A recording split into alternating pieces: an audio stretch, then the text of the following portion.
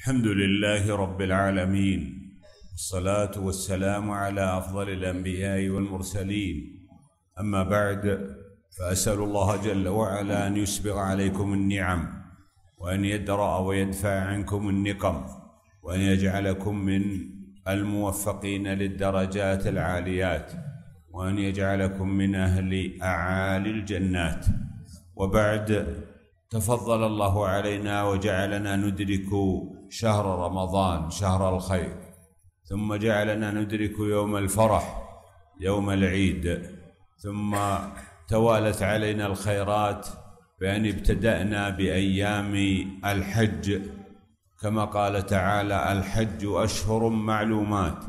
فمن فرض فيهن الحج فلا رفث ولا فسوق ولا جدال في الحج. وما تفعلوا من خير يعلمه الله. وتزودوا فإن خير الزاد التقوى.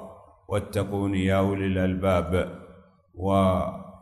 وابتدأنا بموسم بهذا الموسم العظيم ولعلنا أن نتقرب إلى الله تعالى فيه بدراسة عدد من أحاديث النبي صلى الله عليه وسلم بقراءة أو بإكمال قراءة مختصر صحيح البخاري.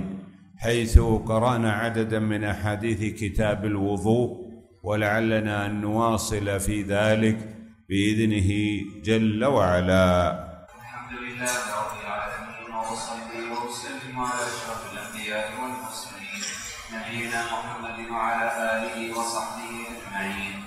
اللهم علمنا ما ينفعنا وانفعنا بما علمتنا وزدنا علما. اللهم اغفر لنا ولشركنا ولوالديه وللحاضرين. قال الإمام البخاري رحمه الله تعالى عن عائشة رضي الله عنها قالت كان النبي صلى الله عليه وسلم يعجبه التيمم ما استطاع في تنعله وترجله وطهوره وفي شأنه كله. قوله هنا كان النبي صلى الله عليه وسلم يعجبه التيمن بمعنى أنه يقدم اليمين على جهة الشمال. وذلك فسر في أحاديث أخرى بأن اليمين تجعل لما يستحسن وأن الشمال تجعل لما يستقذر. وقوله هنا في تنعله أن أي أنه كان يلبس النعل اليمنى قبل أن يلبس النعل اليسرى. وقوله ترجله يعني في تسريح شعره فيبدأ بالجهة اليمنى من رأسه ثم يتبعها الجهة اليسرى ويكون ذلك بيده اليمنى. وقوله هنا وطهوره أي أنه في الوضوء وفي الاغتسال يبدأ بجهته اليمنى. والبداءة باليمين من المستحبات المتأكدات. فقد كان النبي صلى الله عليه وسلم يواظب على ذلك لكنه ليس من الواجبات. فلو قدر أن أحد الأشخاص غسل يده اليسرى قبل اليمنى صح وضوءه بذلك ولكنه ترك الأفضل. فهذا الحديث فيه تقديم جهة اليمين على جهة اليسار وفيه لبس النعل اليمنى قبل اليسرى على سبيل الاستحباب وفيه التيمن في الوضوء وفي الغسل وفيه أيضا التيمن في تسريح الشعر ودهنه وفيه أيضا إلحاق ما ماثلها بحيث أنه يقدم فيها اليمين ومن ذلك دخول المسجد فإنه يستحب أن أن يدخل بالرجل اليمنى قبل الرجل اليسرى. وهكذا أيضا في أكل الإنسان وطعامه فإنه يأكل بيده اليمين. وهكذا في المجلس يبدأ بكبار المجلس ثم جهة اليمين وهذه هي السنة في كل ما كان فيه تخيير بين الجهتين. السلام عليكم.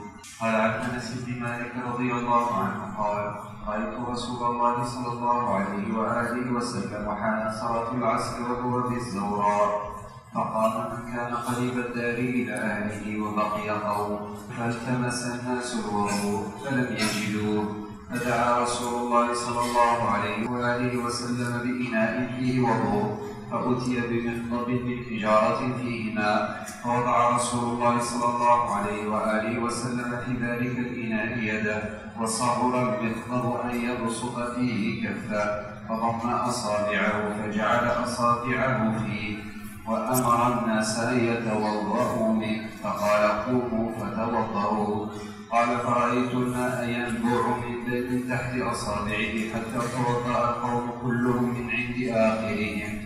فحذرت من توضأ ما بين السبعين إلى الثمانين.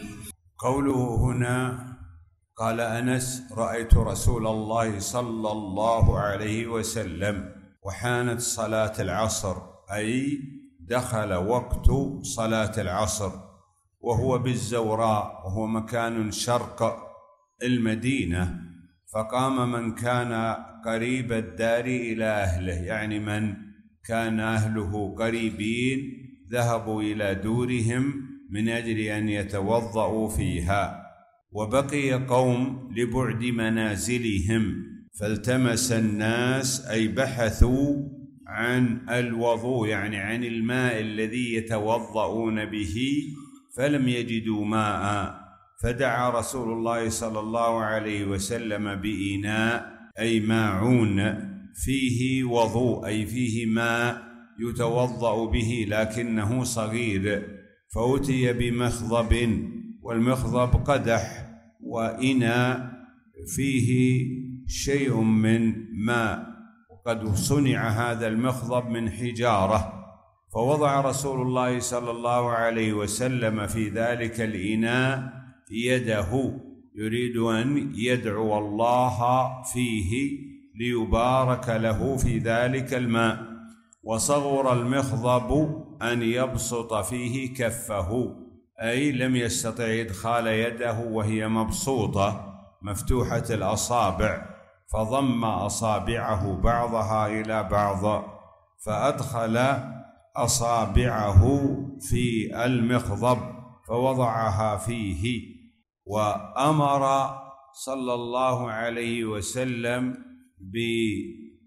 بأمر الناس أن يتوضأوا وبدأوا يسحبون من ذلك الماء فقال قوموا فتوضأوا فأصبح الماء ينبع أي يخرج من الإناء من كثرة الماء الذي في ذلك الإناء فأصبح يتصبب خارج الإناء حتى توضأ القوم كلهم من أولهم إلى آخرهم.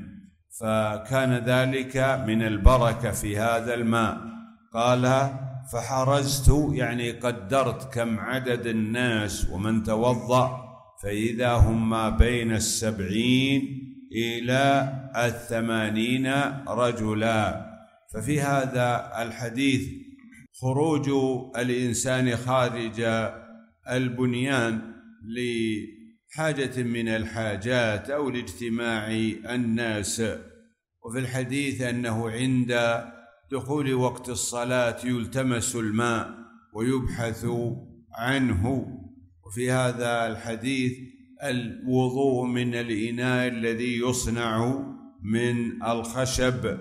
وفي هذا الحديث أيضا بركة رسول الله صلى الله عليه وسلم وفيه دليل من دلائل نبوته حيث كفى هذا الماء القليل هؤلاء الرجال. ومقدارهم قرابة السبعين إلى الثمانين. قال عن أنس رضي الله عنه أن رسول الله صلى الله عليه وآله وسلم لما حلق رأسه كان أبو طلحة رضي الله عنه اول من أخذ من شعره. هذا الحديث يتكلم عن حجة النبي صلى الله عليه وسلم. فإن النبي صلى الله عليه وسلم رمى جمرة العقبة في يوم العيد. ثم ذهب فذبح هديه ثم حلق رأسه وأعطى أبا طلحة نصف شعره ووزع نصف شعره الآخر فيما بين الناس. وكان رسول الله صلى الله عليه وسلم مباركا. وهذا من خصائصه صلى الله عليه وسلم. ولا يفعل مثل ذلك بغيره. فريق النبي صلى الله عليه وسلم مبارك وشعره مبارك ولذا أمر بتوزيع شعره. أما غير النبي صلى الله عليه وسلم فإنه لا يثبت له هذا الحكم. ولذا لم يكن من شأن الصحابة أن يتبركوا بآثار كبار الصحابة كأبي بكر وعمر وعثمان وعلي والحسن والحسين وغيرهم من صحابة رسول الله صلى الله عليه وسلم. ولذا كان تحنيك الصبيان بريق بالريق خاصا بالنبي صلى الله عليه وسلم لما ثبت من بركته ولم يثبت مثل ذلك لأحد سواه. ولذا لم يكن صحابة رسول الله صلى الله عليه وسلم يفعلون مثل ما كان يفعل صلى الله عليه وسلم في التحنيك. وفي هذا الحديث أن شعر الانسان طاهر وأنه لا يعد من النجاسات. وفي هذا الحديث فضل أبي طلحة الأنصاري رضي الله عنه. قال عن ابي هريره رضي الله عنه قال ان رسول الله صلى الله عليه وسلم قال اذا شرب الكلب في اناء احدكم فليغسله سبعا قوله إذا شرب وفي بعض الروايات لعق الكلب في إناء أحدكم أي سحب الماء من الإناء ليدخله في جوفه. قوله فليغسله أي فليغسل الإناء سبعا أي سبع مرات. قد ورد في بعض الروايات إحداهن بالتراب وفي بعضها أولاهن وفي بعضها أخراهن وفي بعضها والثامنة بالتراب. ففي هذا الحديث وجوب غسل الإناء بعد ولوغ الكلب بحيث يغسل سبع مرات. فإن قوله فليغسله فعل مضارع مسبوق بلام الأمر ولذا رأى جمهور العلماء أنه يجب غسل الإناء من ولوغ الكلب سبع مرات. وخالف في ذلك الإمام مالك رحمه الله تعالى. وسبب المخالفة أن من قواعد الإمام مالك أن القياس يقدم على خبر الواحد وهذا خبر واحد. وفي الشريعة أن الكلب إذا صاد صيدا جاز أكل صيده ولم يلزم غسله. ولذا قال عجبا كيف يؤكل صيده ويغسل سؤره. ولكن الحديث ثابت وهو من الأحاديث التي وردت عن عدد من الصحابة رضوان الله عليهم ولا يصح أن يلغى هذا الحديث ويرد بسبب القياس. وقد يكون في الولوغ من الأسباب التي تؤدي إلى التأثير على الإناء ما لا يوجد عند صيد الكلب. وهذا الحديث خاص بالولوغ في الماء. ولذا فإن الصواب أنه لو نزل لعاب الكلب على ثياب أو غيرها فإنه لا يلزم غسله إلا مرة واحدة. بخلاف ما لو لعق الكلب فإنه يلزم غسله سبعا وفي ألحق بعض العلماء بالكلب بعض الحيوانات كالخنزير وغيره. والأظهر أنه لا يقال بحكم إلا بناء على دليل أو قياس ولم يرد الدليل إلا في الكلب. وأما القياس فإنه لا يثبت إلا بعد معرفة العلة التي من أجلها ثبت الحكم ولم يعرف المعنى الذي من أجله ثبت حكم وجوب الغسلات السبع. ولذا فيقتصر على محل الحديث. بل قد ألحق بعض الفقهاء كالحنابلة بقية النجاسات التي على غير الأرض فإنهم يرون أن النجاسة إن وقعت على الأرض كفى غسلها مرة واحدة وإن وقعت على غير الأرض وجب غسلها سبعا ولكن الحديث إنما ورد في في ولوغ الكلب فقط ولم نعرف المعنى في ذلك. وإن كان أبو هريرة رضي الله عنه كان يقول بأن هذا الحكم ليس خاصا بولوغ الكلب ويرى أن بقية النجاسات تماثله. وإن كان ورد عنه أنه أنها تغسل ثلاثا. ولكن هذا اجتهاد من أبي هريرة رضي الله عنه. وقد خالفه غيره من الصحابة وعند اختلاف الصحابة لا يصح الاحتجاج والاستدلال بقول بعضهم دون بعضهم الآخر. نعم. الله قال عن أبي هريرة رضي الله عنه أن رسول الله صلى الله عليه وآله وسلم قال بين رجل يمشي بطريق فاشتد عليه العطش. فوجد بئرا فنزل فيها فشرب منها ثم خرج. فإذا هو بكلب يلهث يأكل الثرى من العطش. فقال لقد بلغ هذا الكلب من العطش مثل الذي بلغ بي فأخذ الرجل خفه فنزل البئر فجعل يغرف له به. فملأ خفه ثم أمسكه بفيه ثم رقي. فسقى الكلب حتى أرواه. فشكر الله له فغفر له فأدخله الجنة. قالوا يا رسول الله وإن لنا في البهائم أجرا. قال في كل كبد رطبة أجر. قوله إن رسول الله صلى الله عليه وسلم قال بين رجل يمشي بطريق يذكر النبي صلى الله عليه وسلم حادثة حدثت في الأمم السابقة. بينما هو يمشي بطريق أي أنه قد أخذ هذا الطريق و قال فاشتد عليه العطش. ظاهر هذا أنه كان مسافرا وأن الماء ليس قريبا منه ولذا اشتد عليه العطش وهو الحاجة إلى شرب الماء. فوجد بئرا فيها ماء فنزل الرجل في البئر فشرب من الماء الذي في تلك البئر ثم خرج الرجل من البئر. فإذا هو بكلب يلهث ومعناه أنه كان يخرج لسانه من شدة العطش وكان يأكل الثرى من العطش والثرى التراب الرطب الذي فيه ليونه وقد مسه الماء. فقال الرجل لقد بلغ هذا الكلب من العطش مثل الذي بلغ بي.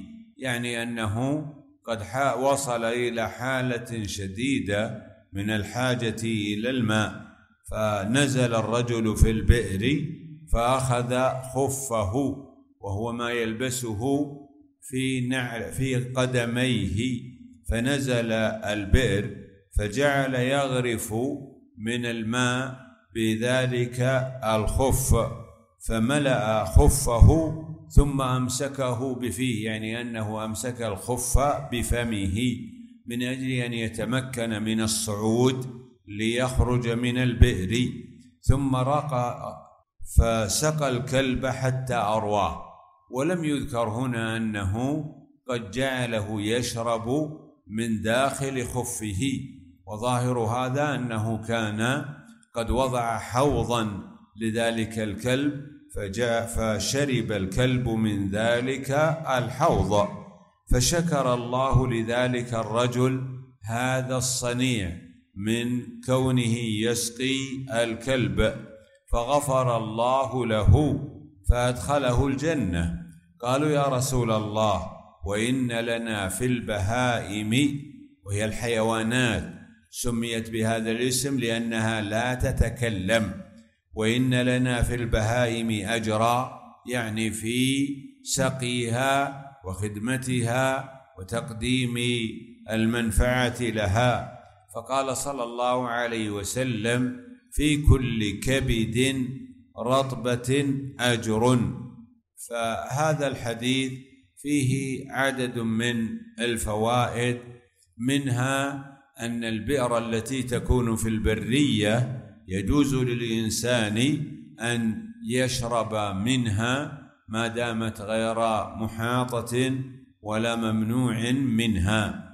وفي هذا الحديث تفقد الإنسان ما حوله من الناس أو الحيوانات أو غيرها ولذا تفقد هذا الرجل ما حوله فوجد هذا الكلب. وفي هذا الحديث أيضا من الفوائد احتساب الأجر في سقي الحيوانات ومنها الكلاب. وفي هذا الرجل في هذا الحديث جواز استعمال الخف في نقل الماء عند الحاجة إليه. والخف يصنع من الجلد والماء لا يؤثر عليه. وفي هذا الحديث جواز النزول في الآبار من أجل سقي الماء. وفي هذا الحديث أيضا أن سعة رحمة الله تعالى وأنه قد يغفر للعبد بالفعل اليسير كما غفر لهذا الرجل ذنبه بسبب سقيه لهذا الكلب. قد ورد في الحديث أن النبي صلى الله عليه وسلم قال الراحمون يرحمهم الرحمن. ارحموا من في الأرض يرحمكم من في السماء. وقوله هنا قالوا وإن لنا في البهائم أجرا. استفصال وسؤال من الصحابة رضوان الله عليهم. لي من أجل أن يعمموا هذا الحكم.